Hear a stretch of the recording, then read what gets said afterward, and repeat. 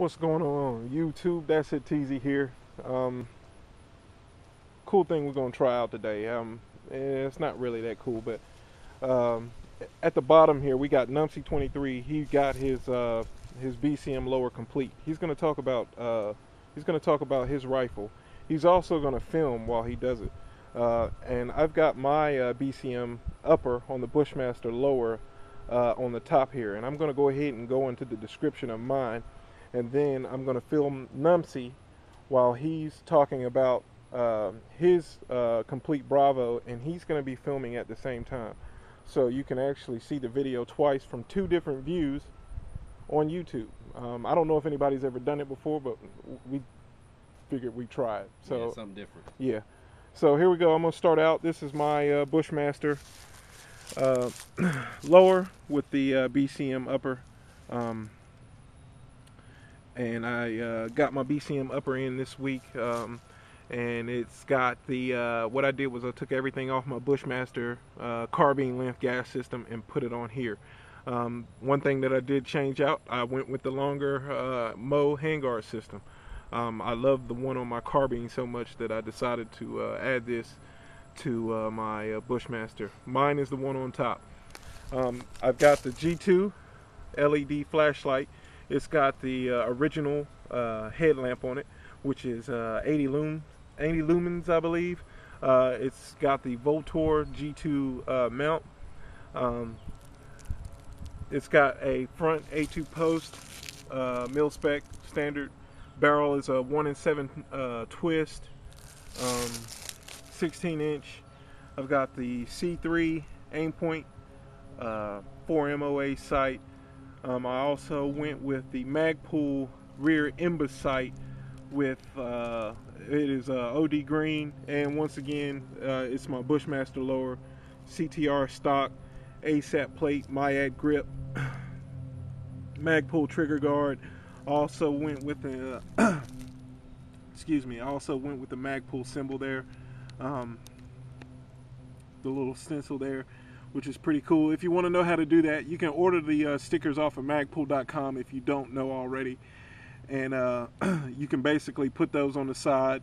What you want to do is uh, take like uh, some degreaser and uh, rub on that to get any uh, leftover oil or handprints. If you pick, if you play with your rifle a lot, you'll see that you get your fingerprints and stuff like that all over. So you want to get all that off, get it bone dry, and then you'll be able to stick that on there, and it should stay on.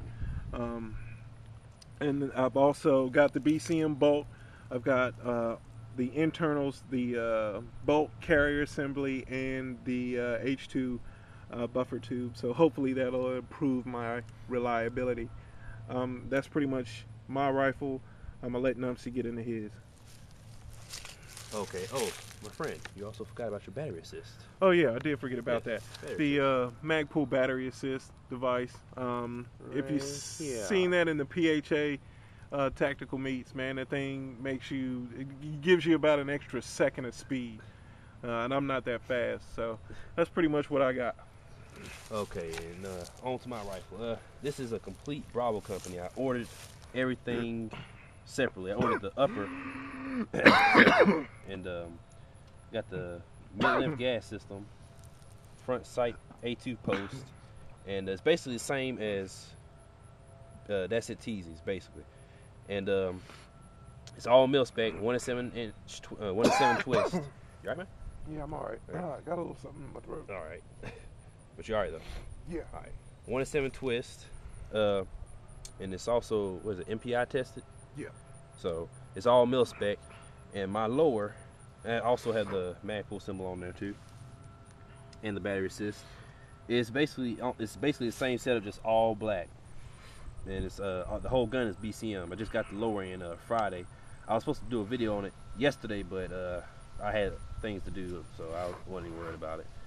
And uh, from my other video, you know, I had the Aimpoint Micro T1, MBUS rear sight, got the battery assist, got the MIAD black grip on this one, and the Magpul CTR stock.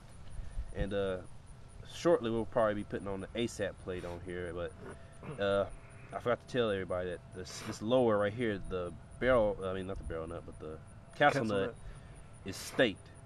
So uh, in order to get this off, you have to actually break it, break the little stake part off, and file it down, so it won't get in the way of you putting it on your uh, putting on your um, ASAP plate. But uh, yeah, uh, this rifle, proud of it, and I mean, like I said, I'm gonna be running this during the PHA t- tactical tournaments for my mom. So uh, yeah, it's, it's that's my baby right here now. So I, I haven't shot it yet, so I'll, I'll be getting up a video as soon as uh, the PHA tournament comes up uh, next month. So uh, that's it. And I don't know if I'm gonna do anything else to it, but we'll see. We'll see. But uh, one of the reasons why we wanted to do this is in uh, dedication to uh, Catherine Shore, and that's John's mother. Um, she was the one person that encouraged us to uh, continue shooting and to become more proficient as shooters. And every day I'm learning something new. Uh, I'm still slow.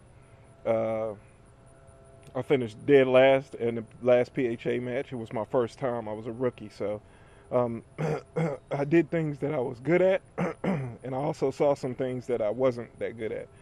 But in that, she uh, just told us to move on and keep going forward, and that's that's why we're doing what we do today, basically. Yeah. Um, and we just we miss her to death, man. So um, send prayers to uh, my man John Numsy 23. You know, uh, he's staying strong through this, man. And we uh, appreciate the support, you know, that he's gotten so far, man. Oh yeah, definitely. definitely. But uh, thanks, guys. We really hope you enjoyed the video, and um, look forward to seeing your comments. All right. Peace.